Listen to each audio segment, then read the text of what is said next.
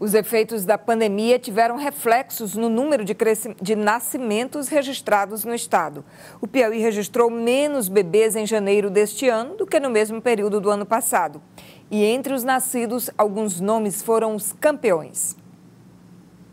O Marcelo tem três meses. Nasceu em plena pandemia da Covid-19. A Isadora não planejava ser mãe tão cedo menos ainda durante uma pandemia. Mas, em abril do ano passado, foi surpreendida com uma gravidez. Mesmo com a pandemia, eu estava num relacionamento e aí a gente se encontrava pouquíssimas vezes, mas ainda assim o João Marcelo veio. O João Marcelo nasceu em dezembro de 2020. Ainda estamos passando pela crise de saúde pública que desafia o mundo. Talvez por isso, no primeiro mês de 2021, não nasceram tantos bebês como no mesmo período de 2020. Um levantamento da Associação Nacional dos Registradores de Pessoas Naturais, ARPEM, revela queda histórica de 15% nos nascimentos em janeiro de 2021.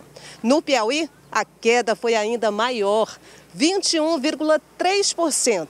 O levantamento foi realizado em 129 cartórios de registro civil do Estado. O levantamento tem base nos 7.651 cartórios de registro civil existentes e indica que, em janeiro de 2020, foram feitos 3.693 registros de nascimento. Em janeiro de 2021, somente 2.906, 787 a menos. Esta psicóloga acredita que a redução pode ser atribuída ao pouco conhecimento do coronavírus, o que resulta em mais cuidados ao tentar evitar uma gravidez. A Covid-19, as mulheres não têm informação com relação ao vírus, o que, que pode acontecer com o seu bebê.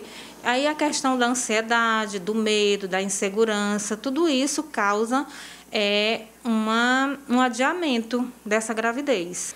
E olha que curioso! O nome João está entre os cinco mais registrados no ano de 2020 no Piauí. No topo da lista está João Miguel, em seguida, Arthur, Enzo Gabriel, Maria Cecília e Heitor.